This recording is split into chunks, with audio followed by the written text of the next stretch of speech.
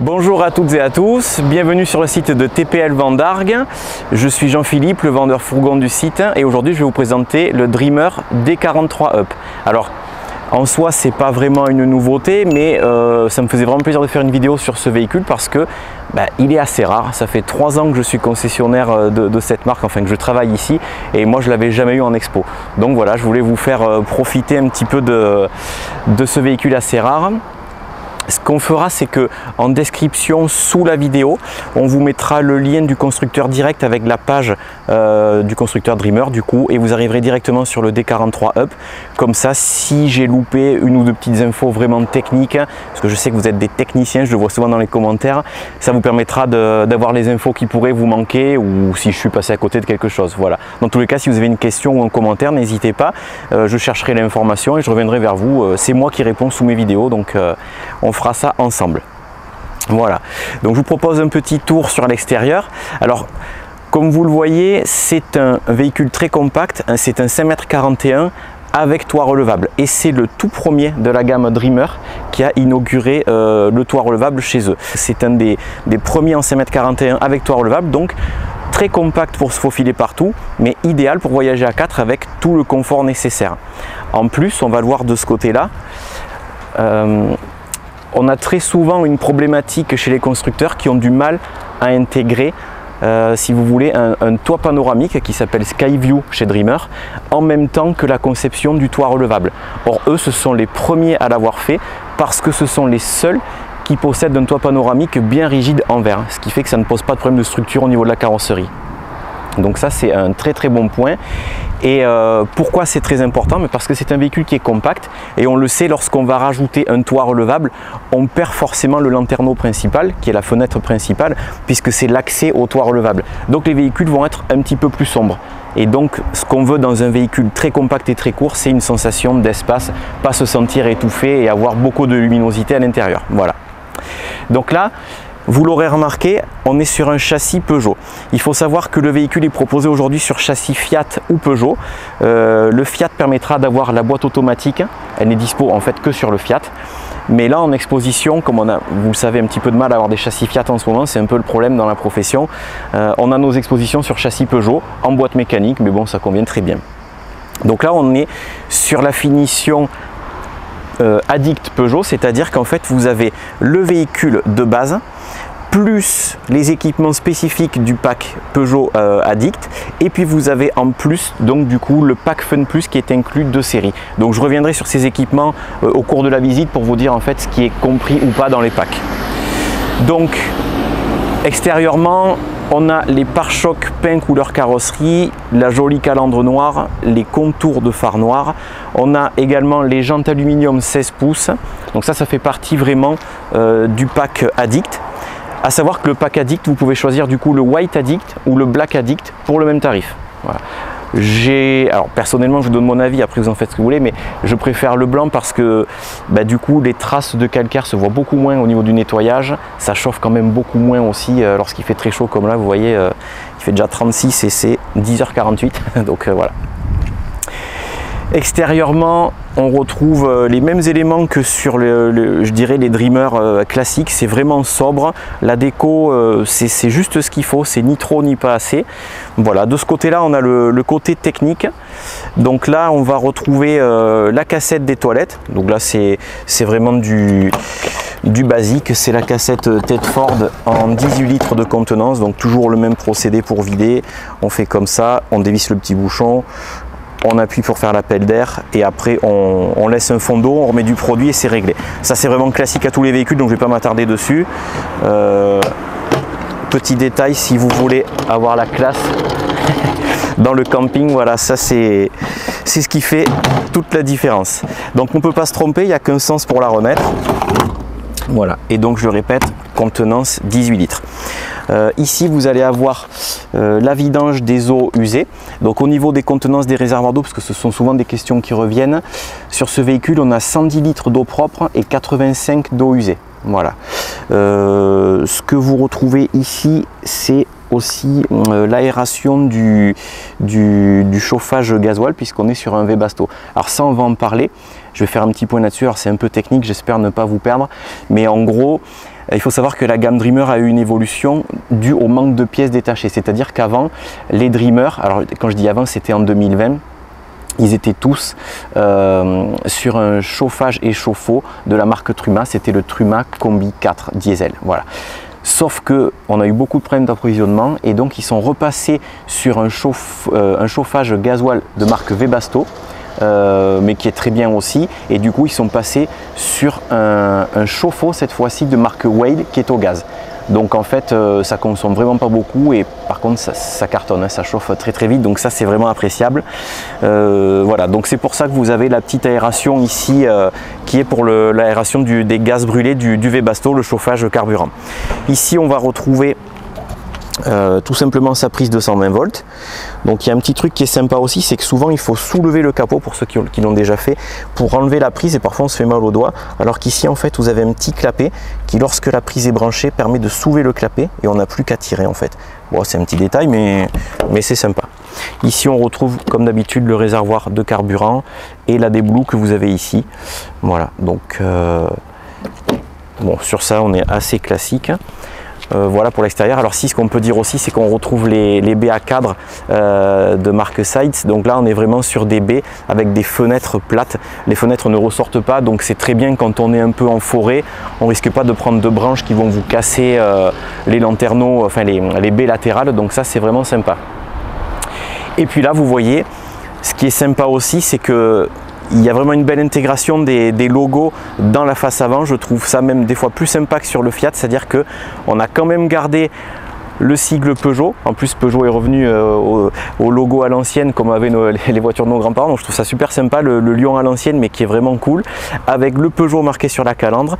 Mais on garde quand même euh, le, logo, euh, le logo de chez Dreamer. Donc, on a vraiment l'identité qui est forte au niveau des deux marques et je trouve ça super sympa. Voilà. Je vous propose de passer à l'intérieur. Alors, il y aura certainement des plans coupés parce que c'est assez compliqué de tout vous montrer. On n'a pas assez de, recul dans le véhicule. Donc, euh, je vais faire euh, d'abord la partie tableau de bord. Ensuite, je vais vous montrer le toit panoramique, hein, le sky view. Euh, je vais vous montrer l'intérieur du véhicule et après, on parlera du, du toit pop-up parce que vous verrez qu'il y a vraiment une particularité qui pour moi fait toute la différence dans ce véhicule, c'est que on a le chauffage qui arrive en haut. Donc ça, on en reparlera plus tard donc là on se retrouve sur la partie tableau de bord. Alors euh, ce que je voulais vous montrer par rapport à la finition justement Addict, c'est que vous avez les aérateurs chromés euh, dans le tableau de bord. Vous avez les commandes au volant, le pommeau et le levier de vitesse qui sont en cuir. Donc ça, ça peut paraître euh, parfois too much. Les gens me disent oui, j'en ai pas besoin, mais non, je vous assure qu'au niveau des longs trajets, on a un agrément de conduite, ça n'a vraiment rien à voir. Ensuite, vous avez ces éléments-là qui sont hyper importants, on en parle souvent, mais Ici, c'est le hill holder ou le hill descente selon les marques. C'est euh, une aide à la descente électronique en fait qui va mettre des petits coups de frein pendant que vous descendez. Alors il faut dépendre avec une très forte incidence, hein, sinon ça marche pas. J'ai déjà testé, bon c'est vrai que ça surprend un peu au début mais ça peut aider et ça évite de faire chauffer les freins de trop lorsqu'on a une, pente euh, soutenue pendant un moment. Ici c'est ce qu'on peut appeler le, le, traction plus ou selon les constructeurs la traction intelligente c'est en fait un blocage de différentiel électronique sur les roues avant. En gros, si une roue perd la motricité, la roue d'à côté qui ne tourne pas va se mettre à tourner et ainsi de suite, ce qui fait qu'on va sortir un peu des ornières ou des chemins compliqués. Euh, voilà. Alors dans le pack Fun Plus de série euh, qui est inclus dans ce véhicule, vous retrouvez également une radio euh, Bluetooth avec USB, prise jack, voilà donc ça c'est pas mal. Mais on y reviendra à la fin, je vous ferai un petit focus sur ce que je trouve qui est super sur le véhicule, donc un peu les points positifs et les points un peu négatifs, euh, pour essayer d'être neutre et puis vous montrer, euh, on n'est pas marié avec une marque, on en fait plusieurs, donc, euh, mais pour vous montrer ce que nous on en pense, notre ressenti à nous. Voilà, donc là vous voyez, il faisait très chaud, j'avais tiré le, le Store Rémi, et bien sûr de série, vous avez les occultants donc sur les deux portes, mais également à l'avant. Là vous voyez, il commence à faire chaud, donc je vais aussi mettre l'occultant sur le, skyroof, le top panoramique, donc ça c'est vraiment bien fait parce que c'est vrai qu'en début de journée ou en fin de journée, ça va être un apport très conséquent de lumière. Euh, quelque part, c'est écolo aussi parce qu'on consomme moins euh, sur sa batterie, donc on a moins besoin de rouler ou de recharger ou de démarrer le moteur. Par contre, il est vrai que, euh, surtout sur un toit en verre comme ça, Là aujourd'hui à 36 degrés, on... bon, la réalité des choses c'est qu'on ne tient pas dessous, il fait quand même assez chaud. Donc il faut le savoir.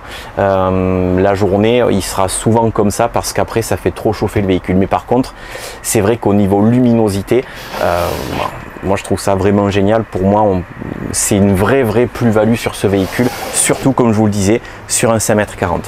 Alors vous avez des interrupteurs ici euh, qui permettent de commander, vous voyez l'éclairage, on a des, des, bandeaux LED partout qui surlignent toute la ligne de meubles, donc ça c'est hyper bien fait, vous voyez là j'allume tout et j'éteins tout. Mais vous avez aussi des lumières comme ça lorsque vous avez le petit signe qui est là, et bien en fait ça permet de les commander indépendamment. Donc on peut vraiment faire un éclairage d'ambiance comme on le souhaite, je trouve ça vraiment super sympa. Au niveau de la dinette, ici, vous avez euh, le classique, donc une table qui est, je trouve, vraiment assez large pour un 5m40. Très souvent, on a des toutes petites tables sur les 5m40, donc ça, c'est un bon gros point. Quand on est 4 et qu'on a besoin d'avoir de, l'espace pour manger, c'est génial. Vous voyez avec la rallonge de table ici. Vous avez également une rallonge de plan de travail disponible de ce côté-là. Donc, si vraiment c'est pas le projet, mais si on devait faire un gros festin et prévoir euh, beaucoup de, préparation, ben, c'est 100% faisable sur ce véhicule-là. Un point aussi très positif sur ce véhicule, je trouve, c'est le mode route au niveau de la table. Vous voyez là, elle est vraiment solidement arrimée. Alors je dis ça, c'est pas un détail parce que moi je voyage souvent avec euh, du coup ma femme et ma fille et ça me fait toujours peur en cas d'accident d'avoir une table qui se décroche et qui vienne taper dans les, sièges en fait de là où il y a les petits tout simplement. Donc là c'est vraiment bien arrimé. Et si par contre j'appuie et je désengage la sécurité, je peux vraiment bouger très facilement la table. Après je la réenclenche, je peux la faire glisser comme je veux pour la régler. Et après je réenclenche le mode route. Et là on le voit c'est vraiment vraiment verrouillé. Je vraiment là je force et je peux pas la bouger voilà. Encore une lumière ici. Hop, les petites liseuses sur le côté que j'avais oublié d'allumer. Voilà.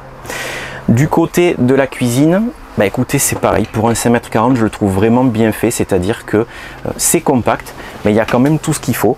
On va avoir ici une prise 12 volts. On va avoir une prise 220. Alors pour rappel, elles sont alimentées que quand vous êtes branché en 220. Ici, on a ces petits tiroirs cuisine, tranquillou, avec les, les tapis antidérapants de série. Ça, c'est vraiment pas mal. Euh, vous avez un frigo compression 90 litres. Alors, c'est vrai que certains diront c'est pas très grand.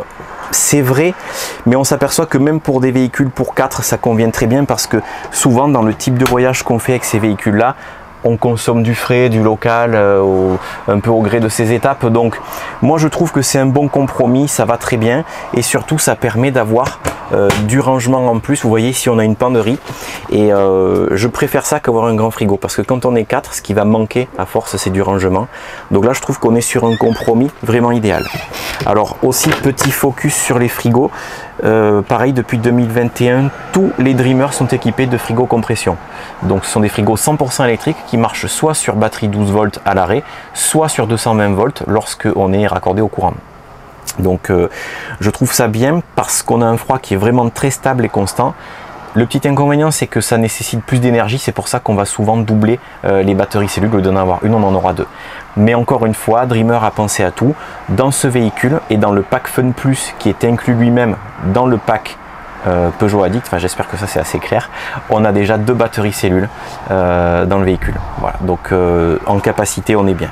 Ce qu'il faudra faire c'est certainement rajouter un panneau solaire, ça c'est un conseil que je vous donne. Voilà. Alors ici on va faire un point sur la salle de bain. Alors c'est une salle de bain qui est très compacte et qui fait en fait ben, je dirais toilette et salle de bain.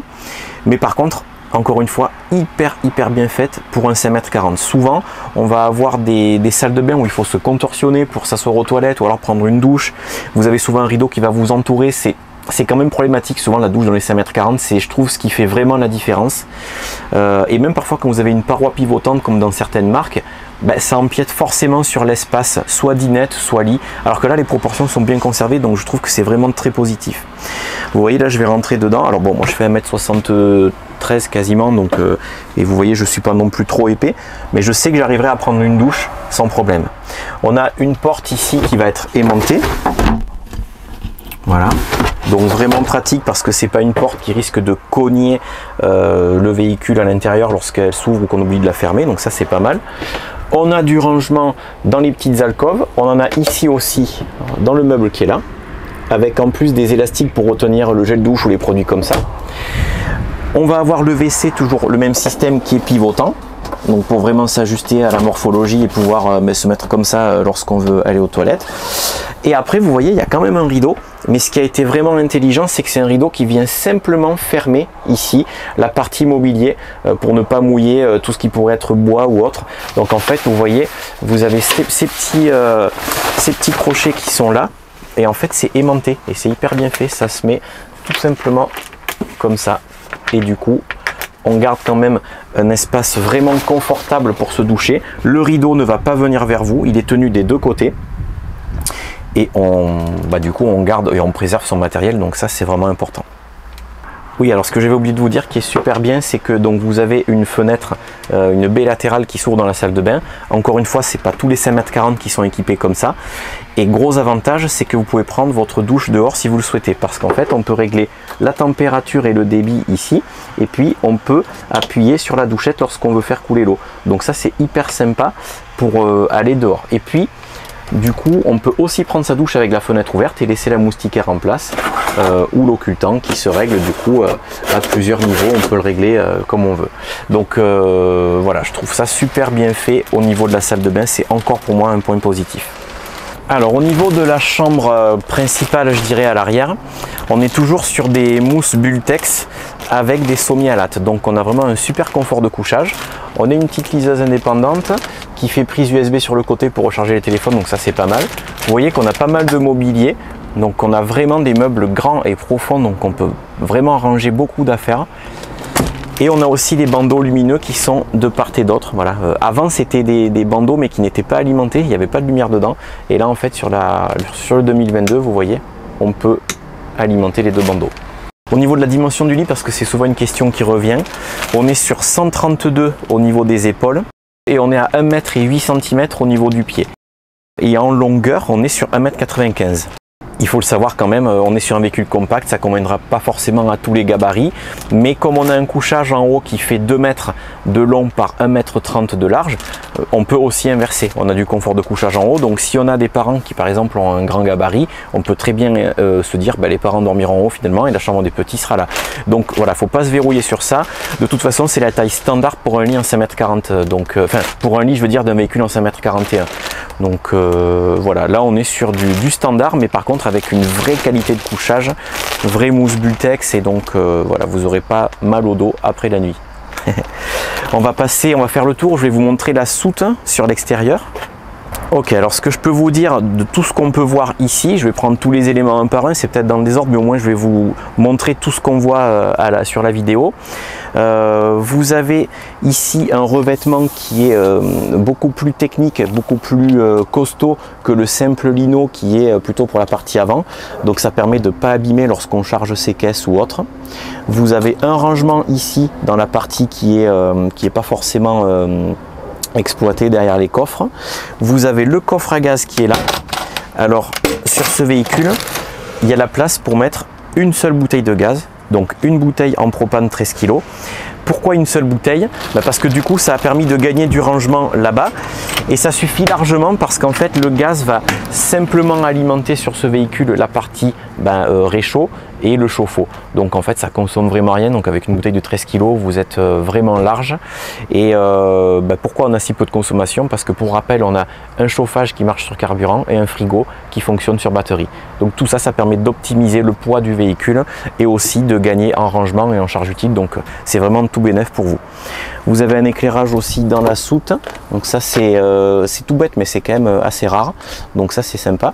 Et la séparation que vous avez là c'est une séparation de soute. En fait c'est ce qu'ils appellent une soute modulable, c'est-à-dire que en fait vous avez cette planche qui est là pour maintenir les affaires, mais imaginons qu'on ait affaire à un couple de surfeurs qui veuillent mettre une planche ou autre, on peut tout à fait l'enlever pour mettre des objets en long. Voilà pour moi, tout petit regret quand même, c'est que, euh, bon, ça se rajoute par la suite, mais on aurait pu avoir des crochets d'arrimage euh, ici de part et d'autre pour tenir un petit peu plus avec euh, des tendeurs ou autre.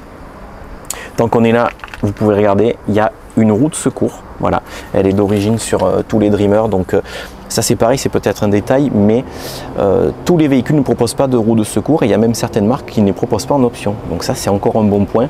Quand on a un véhicule familial et qu'on se balade avec ses enfants, si jamais on doit avoir un problème sur un, pneu, on veut pouvoir se dépanner rapidement. Donc ça c'est vraiment très bien qu'on voit ici, c'est un crochet qui sert en fait à retenir le sommier lorsque vous voulez le mettre euh, en mode relevé. Bon, techniquement, il n'y a vraiment pas grand monde qui fait ça parce que ça défait le lit, c'est assez pénible. Mais euh, quand ils arrivent de chez le constructeur en mode transport, ils sont souvent comme ça. Voilà. Après, vous avez aussi dans les portes, ben, vous retrouverez le classique, c'est-à-dire des ouvrants euh, qui s'ouvrent dans les deux sens avec toujours pareil euh, les, les, occultants et aussi la moustiquaire. Donc c'est un système qui est vraiment sympa et vraiment fiable, je trouve, par rapport à d'autres. Par contre, le seul petit truc, c'est qu'il faut faire très attention quand on repince la moustiquaire parce que si je la lâche, elle va se renrouler très fort et elle risque de s'abîmer par, euh, la suite. Donc voilà, juste être précautionneux et sinon, on est vraiment sur un véhicule qui est euh, pour moi très complet. Ensuite, euh, on va faire un petit focus sur le, toit relevable. Alors là, on va prendre un petit peu de recul. Je vais vous montrer un truc qui pour moi fait toute la différence sur cette marque. Alors là, ça va plaire à beaucoup de monde, notamment les familles sportives qui veulent mettre des kayaks ou autres. Alors là, vous le voyez, il n'y a pas de, de panneau solaire posé sur le toit. Mais très clairement, si c'est moi qui vous vends le véhicule, pour pour recharger les deux batteries cellules, vu qu'on a un frigo compression, il faudra absolument mettre un panneau solaire. Donc c'est un semi-flex qu'on appelle, c'est un extra plat qui sera posé dessus. Il y a des endroits prévus pour faire passer les câblages, hein, c'est pas du bricolage, c'est vraiment prévu d'origine.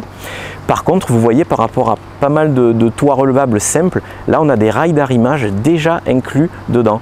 Et ça c'est top parce que vous pourrez vous intégrer des, barres de, galerie pour poser par exemple un kayak enfin, euh, un coffre avec du rangement en plus pour une grosse expédition. Voilà. Le but n'est pas de charger à fond et de mettre beaucoup de poids, mais au moins d'avoir un poids bien réparti par rapport au fait qu'on ces deux rails sur toute la longueur. Donc ça c'est un super bon point et on nous le demande tellement souvent que c'est vraiment génial d'y avoir pensé d'origine. Voilà.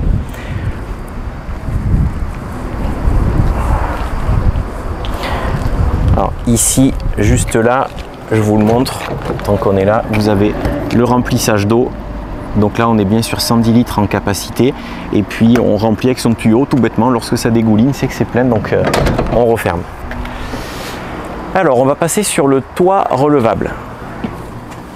Vous voyez, ce qu'il y a de vraiment bien, c'est qu'on ne sait euh, ben, jamais quoi faire de son échelle en fait. Donc euh, là, c'est prévu qu'on puisse la laisser là. Sincèrement, j'ai pas testé de mode route, j'ai pas fait beaucoup de kilomètres avec ce véhicule. Je sais pas si à la longue ça va pas être un peu pénible ça et finalement si je la mettrai pas calée dans la soute ou, ou posée bien arrimée sur le lit. Mais n'empêche que quand on est en mode bivouac, si on est arrêté, qu'on veut la ranger et qu'on sait pas trop quoi en faire, elle peut être mise là et verrouillée avec les deux petites sangles qui sont là. Donc là, je vais la sortir. Voilà, donc là je viens de finir de déplier l'échelle sans rien cogner et je viens de l'accrocher là.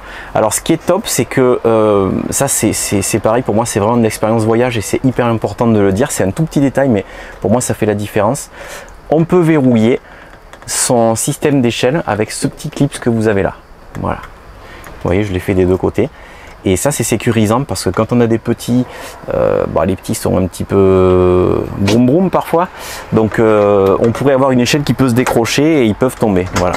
Alors, ce qu'il y a de vraiment sympa aussi, c'est que en admettant que vous décaliez ou même enleviez la table carrément, euh, on peut, pour ne pas se bloquer l'accès au véhicule, par exemple, le soir, on peut enlever sa table et en fait, on peut mettre l'échelle dans l'autre sens puisque vous avez décroché aussi de ce côté-là. Juste là. Voilà. Donc ça, ça peut être pas mal, ça évite de bloquer bah, un petit peu l'accès au couloir ici. Voilà. Alors après, du coup, je vais monter. Donc, vous voyez ici, vous avez deux liseuses. Voilà, donc là, on est vraiment bien. Vous avez dans le meuble, alors je ne sais pas si on va le voir, vous voyez ici, vous avez en fait une, gaine, alors c'est bien fait parce que c'est bien fini, là les finitions sont vraiment top, et en fait vous avez une gaine d'aération de chauffage, et elle sort juste ici, on a un petit aérateur, qu'on peut moduler comme on veut. Et du coup c'est super bien parce que le toit relevable est chauffé et ça c'est vraiment un plus parce que c'est les seuls pour le moment à le proposer. Sinon en général il faut bricoler soi-même avec un petit tuyau d'aspirateur ou autre. Enfin c'est plus compliqué. Là c'est d'origine donc c'est vraiment bien. Ici je vais essayer de vous faire voir également le confort de couchage. Je vous laisse apprécier vraiment l'épaisseur de ce matelas. D'habitude, pour être clair, hein, sur un toit relevable, on a un lit qui est euh, avec une mousse à peu près comme ça. Et on est sur un sommier euh, Froli. Donc un sommier Froli, c'est des petites coupelles en plastique. Mais c'est vrai que pour être clair, pour avoir déjà testé, euh, on manque un peu de confort quand on est adulte et si on est un peu bien portant, on va vite avoir mal au dos. Ce n'est pas le cas ici, on a un vrai sommier. Alors c'est drôle parce que dessous on voit la carrosserie du véhicule, on est posé sur le toit et donc on voit vraiment le toit d'origine du véhicule et on voit son sommier posé par-dessus directement avec une très grosse mousse. Donc ça c'est vraiment pas mal.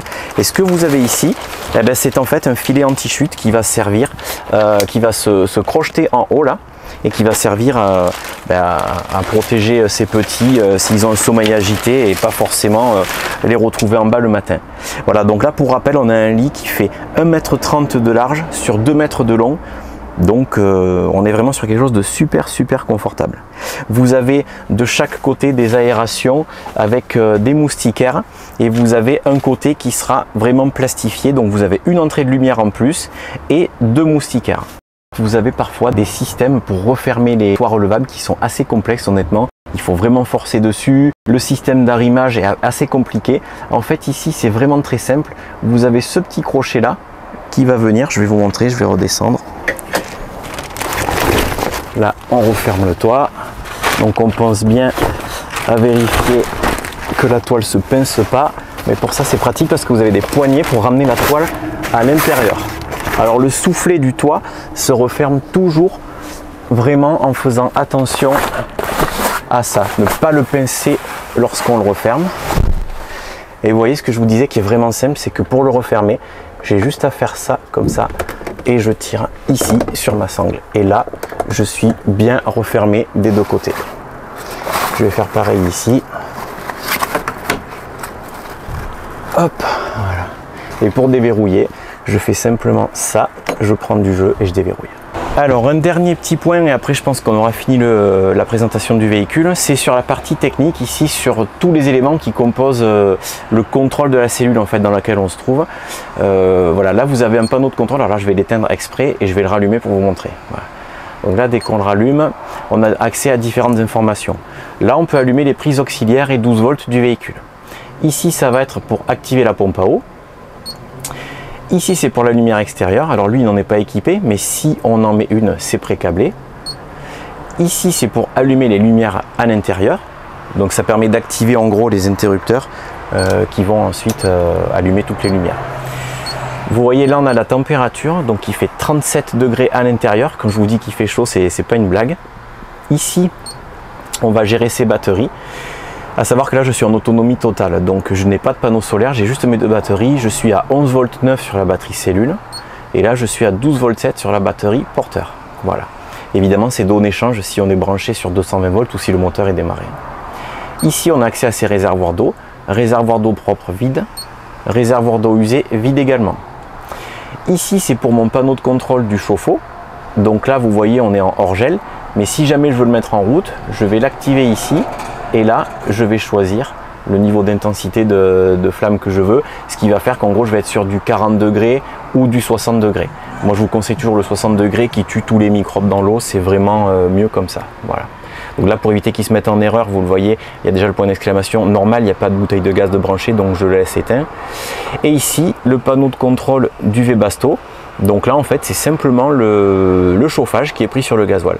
Donc là on va simplement le mettre en mode chauffage. Euh, normal par exemple. On règle la température et on met en route. Quand le bouton passe au vert, c'est qu'il est en chauffe. Si je l'éteins, il va se remettre en veille et s'éteindre tout seul. Et si vous vous demandez ce que c'est ça, c'est, vous voyez, le même sigle que Webasto, c'est la sonde de température intérieure qui permet de réguler justement le chauffage. Lorsqu'il fera plus froid, il va se remettre en route et chauffer automatiquement. Voilà. J'espère que cette vidéo vous a plu. N'hésitez pas à me dire en commentaire si c'était le cas. Euh, juste pour vous aider dans votre choix, si vous devez comparer plusieurs véhicules, si je devais récapituler, honnêtement c'est un super produit, je l'adore. En 5m41, c'est un des précurseurs avec le toit relevable. Si je devais quand même émettre un petit bémol, ce serait sur le niveau d'équipement de base. Je trouve qu'il est super bien fait. Mais vous voyez, on a une radio, euh, somme toute assez basique là. C'est vrai que moi, j'aurais quand même préféré avoir une, une station multimédia avec caméra de recul. Je trouve qu'on aurait pu le faire dans un véhicule de ce standing là. De toute façon, c'est quelque chose qu'on peut mettre en option lorsqu'on commande le véhicule, donc c'est pas un problème. Mais je pense qu'on aurait pu faire un pack où ce serait par exemple déjà intégré dedans. Et le, fait qu'il n'y ait pas de crochet d'arrimage vraiment spécifique dans la soute, les deux points que je trouve euh, qu'on pourrait peut-être améliorer. Sinon, au niveau des points positifs, honnêtement il y a quasiment que ça c'est à dire sa compacité euh, sa salle de bain qui est vraiment euh, super bien faite dans un petit gabarit de véhicule son vrai toit panoramique en verre je le réouvre mais je vais le refermer parce que Camille qui me filme n'en peut plus.